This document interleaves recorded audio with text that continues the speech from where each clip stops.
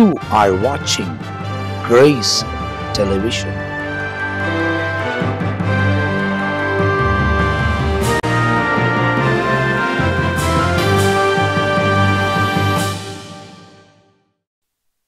ஆண்டவராக இயேசு கிறிஸ்துவின் இனிதான நாமத்தினாலே உங்கள் யாவரையும் நான் வாழ்த்துகிறேன் இந்த கிரேஸ் தொலைக்காட்சி நிகழ்ச்சி பார்த்து கொண்டிருக்கிறதான உங்களையும் உங்கள் குடும்பத்தையும் உடைய கைகளின் பிரயாசத்தையும் ஆசீர்வத் நடத்துவாராக கடந்த நிகழ்ச்சிகளிலே அக்கறை சேருகிற அனுபவத்தை குறித்து நாம் பார்த்தோம்.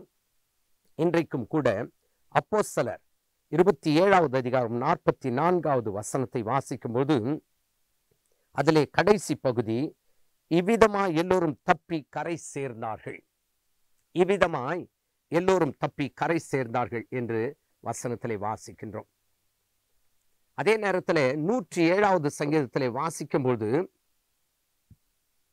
அமைதன் உண்டானது நிமித்தமாய் அவர்கள் சந்தோஷப்படுகிறார்கள். தாங்கள் நாடின துறைமுகத்தில் அவர்களை கொண்டு வந்து சேர்க்கிறார் என்று சொல்லி வாசித்தோம். தாங்கள் நாடின துறைமுகத்திலே கொண்டு வந்து சேர்க்கிறார். இங்கே பார்க்கும்போது இவ்விதமா எல்லோரும் தப்பி கரை சேர்ந்தார்கள். அந்த இடத்திலும் பார்க்கும்போது நாடின துறைமுகம் அக்கறை சேர்ந்தார்கள். இங்கே தப்பி கரை சேர்ந்தார்கள் என்று சொல்லி வசனத்திலே வாசிக்கின்றோம். இந்த கடற்பிரயாணத்தை குறித்து இருபத்தி ஏழாவது அதிகாரம் அப்போ சில இருபத்தி ஏழாவது அதிகாரத்திலே பார்க்கும்பொழுது பவுலுடைய வார்த்தையை கேட்காத நபர்கள் அதிலே காணப்பட்டார்கள். ஒரு பெரிய நீண்ட கப்பல் பிரயாணத்திலே இவர்கள் போய் கொண்டிருக்கிறார்கள். கப்பல் பிரயாணத்தில் என்னென்ன நடக்கிறது என்பதை குறித்து கடந்த நிகழ்ச்சிகளிலே நாம் பார்த்தோம். அந்த கப்பல் பிரயாணத்தில் அதிசயங்களை காண்கிறார்கள் என்று சொல்லி வசனத்திலே வாசித்தோம். இப்போது இங்கே அதிசயம் அல்ல நடக்கிறது என்ன பயங்கரமான உபத்திரவம் இங்கே வருகிறதை நாம் வசனத்திலே வாசிக்கின்றோம் பிரியமானவர்களே. என்ன என்று கேட்டால் அப்போ சிலர் இருபத்தி ஏழாவது அதிகாரத்தில் சில வசனங்களை வாசிக்கும்போது என்னை பாக்கியவான் என்று எண்ணுகிறேன் என்று சொல்லி பவுல போசலன் சொல்லுகிறார். அந்த பாக்கியவான் கடந்து செல்லுகிற அந்த பிரயாணத்திலே பார்க்கும்போது திடீர் என்று சொல்லி ஒரு பெரிய ஒரு காற்று வீசுகிறது. அது என்ன என்று வசனத்திலே வாசிக்கும்போது போது என்று சொல்கிறதான ஒரு கடுங்காற்று அதன் மேல் மோதிட்டான். பதினான்காவது வசனம் இருபத்தி ஏழு பதினாறு. கொஞ்ச நேரத்துக்குள்ளே ஈரோக்லீதோன் என்னும் கடுங்காற்று மோதிற்று என்று வசனத்திலே வாசிக்கின்றோம். அந்த கடுங்காற்று வீசும் பொழுது அவர்கள் கப்பல் பிரயாணத்திலே போய் கொண்டிருக்கிறார்கள். அங்க பாருங்க ஒரு கைதியாக பவுல பொசலன் அந்த கப்பலிலே போய் கொண்டிருக்கிறார். அநேக கைதிகளும் அங்கே இருக்கிறார்கள். ஆனாலும் கூட பவுல பொசலனுக்கு ஒரு நம்பிக்கை இருக்குது. என்ன என்று கேட்டால் நாம் தப்பி கரை சேர்வோம் என்று சொல்லி அவர் நினைக்கிறார்கள். ஆனாலும் கூட இருபதாவது வசனத்துல பாருங்க அநேக நாளாய் சூரியனாவது நட்சத்திரங்களாவது காணப்படாமல் மிகுந்த பெருங்காற்று மழையும் அடித்தது கொண்டிருந்தபடினால் இனி தப்பி பிழைப்போம் என்ற நம்பிக்கை முழுவதுமாய் அற்று போயிற்று என்று வசனத்தில் வாசிக்கிறோம்.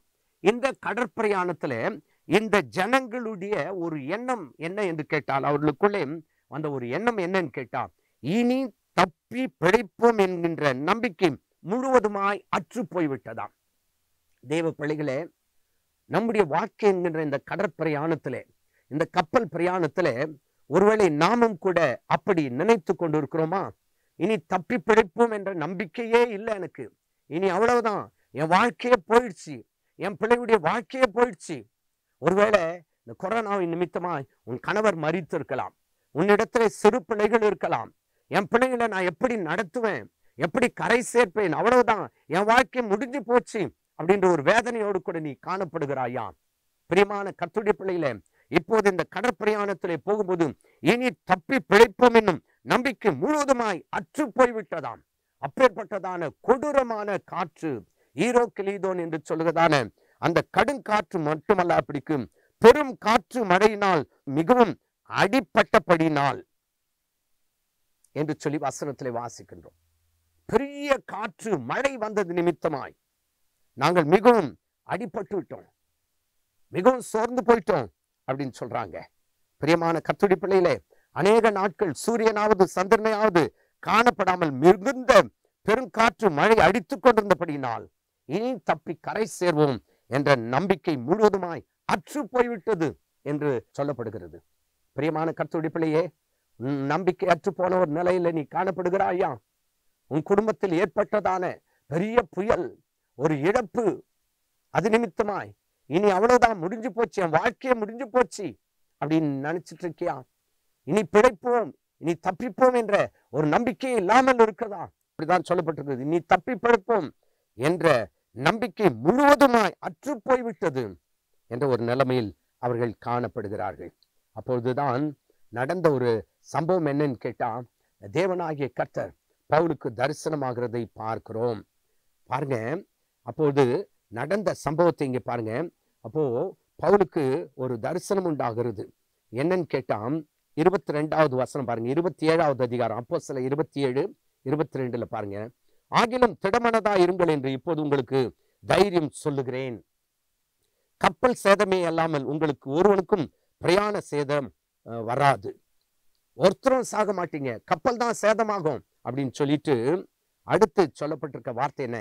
ஏனென்றால் என்னை ஆட்கொண்டவரும் நான் சேவிக்கிறவருமான தேவடைய தூதனானவன் இந்த ராத்திரியிலே என்னிடத்தில் வந்து நின்று பவுலப்போசன் சொல்லுகிற ஒரு வார்த்தை என்ன? என்னை ஆட்கொண்டவரும் நான் சேவிக்கிறவருமான தேவடைய தூதனானவன் இந்த ராத்திரி என்னிடத்தில் வந்து நின்று பவுலே பயப்படாதே நீ ராயனுக்கு முன்பாக நிற்க வேண்டும். இதோ உன்னோடு கூட யாத்திரை பண்ணுகிற யாவரையும் தேவன் உனக்கு தயவு பண்ணினார். ஆனபடியினால் மனுஷரே திடமனதா இருங்கள் எனக்கு சொல்லப்பட்ட பிரகாரம் நடக்கும் என்று தேவடத்தில் நம்பிக்கையா இருக்கிறேன் என்று சொல்கிறார் எனக்கு ஆண்டவர் என்ன சொன்னாரோ அதான் நடக்கும். பிரயாண சேதங்கள் ஒவ்வொருக்கும் உயிர் சேதம் ஏற்படாது என்று தைரியமா சொன்னது மாத்திரமல்ல அப்படிக்கு அங்கே பவுலப்பசன் சொல்லுகிற ஒரு வார்த்தை என்னன்னு கேட்டா தேவன் எனக்கு சொன்ன பிரகாரம் தான் நடக்கும் அப்படின்னு சொல்லிட்டு தைரியமா சொல்லுகிறதை நாம் வசனத்திலே வாசிக்கின்றோம். அருமையான கத்துடி பிள்ளைகளே ஆனாலும் கூட இங்கே சொல்லப்பட்ட சில வார்த்தைகளை நீங்கள் கவனித்து பார்க்கும்போது பவுலப்போசன் சொன்ன வார்த்தைகளை அவர்கள் கேட்க அவர்களுக்கு மனமில்லை. எனவேதான் வசனத்திலே வாசிக்கின்றோம் நூற்றுக்கு அதிபதி பவுலினால் சொல்லப்பட்டவர்களை பார்க்கிலும் மாலுமையும் கப்பல் எஜமானனையும் அதிகமாய் நம்பினான். பிரியமான கத்துடி பிள்ளையே இந்த வசனத்தை நன்றாய் கவனித்து பாருங்க. நூற்றுக்கு அதிபதி பவுலினால் சொல்லப்பட்டவர்களை பார்க்கிலும் மாலுமையையும் கப்பல் எஜமானனையும் அதிகமாய் நம்பினான். உலக மனுஷனை நம்பிட்டாங்க ஆனா தேவ மனுஷன் சொன்ன வார்த்தையை கேட்காதது நிமித்தமா தான் பயங்கரமான காற்று அங்கே வீசுகிறதாக நாம் பார்க்கிறோம் பிரியமான தேவ பிள்ளையே நீங்கள் அந்த வசனத்தை அப்படியே வாசித்து கொண்டு வரும்பொழுதுதான் அங்கே பௌலப்போசன் சொல்லுகிற வார்த்தை அவர்கள் கேட்காமல் மாலுமி சொன்னதையும் அந்த எஜமானன் சொல்லுகிறதையும் அதிகமாய் நம்பினது நிமித்தமாக தான் வசனம் அடுத்து சொல்லப்பட்டு கொஞ்ச நேரத்துக்குள்ளே பெருங்காற்று அந்த ஈரோக்லிதோன் என்று சொல்லுகிற கடும் காற்று வீசினது. தேவ பிள்ளையே இன்றைக்கு உன் ஊழியக்காரர் சொல்லுகிறதை நீ கேட்கிறாயா? தேவ மனிதர்கள் சொல்லுகிறதை நீ கேட்கிறாயா? சற்று யோசித்து பார். கேட்காவிட்டால் புயல் காற்று வீசும் என்பதற்கு இது ஒரு ஆதாரமாக இருக்குது. ஆனாலும் கூட பௌலப்பசன் சொல்லுகிற வார்த்தை என்னன்னு கேட்டா எனக்கு தேவன் என்ன சொன்னாரோ அதன்படிதான் நடக்கும் அப்படின்னு சொல்றார். தேவ பிள்ளையே இன்றைக்கு நீ யாருடைய வார்த்தையை அதிகமாய் நம்புகிறாய்? உன் நண்பருடைய வார்த்தைகளை நீ அதிகமாய் நம்பிக்கொண்டிருக்கிறாயா? அல்லது மேல் அதிகாரிகள் சொல்லுகிறதை மாத்திரமே நம்பிக்கொண்டிருக்கிறாயா? நல்லது. ஆனால் நடக்க போவது என்ன? பயங்கரமான காற்று வீசும். தேவ மனிதர்கள் சொல்லுகிறதை கேட்க வேண்டும். தேவ ஊழியக்காரர்கள் சொல்லுகிறதை நம்ப வேண்டும். ஆனால் இங்கே பார்க்கிறது என்ன? நூற்றுக்கு அதிபதி பவுலினால் சொல்லப்பட்டவளை பார்க்கிலும் மாலுமையும் கப்பல் எஜமானனையும் அதிகமாய் நம்பினான். பிரியமான கத்துடிப்பிள்ளையே நம்ப வேண்டாம் நம்ப வேண்டாம். இந்த பொய்யுலகை பாழுலகை நம்ப வேண்டாம்.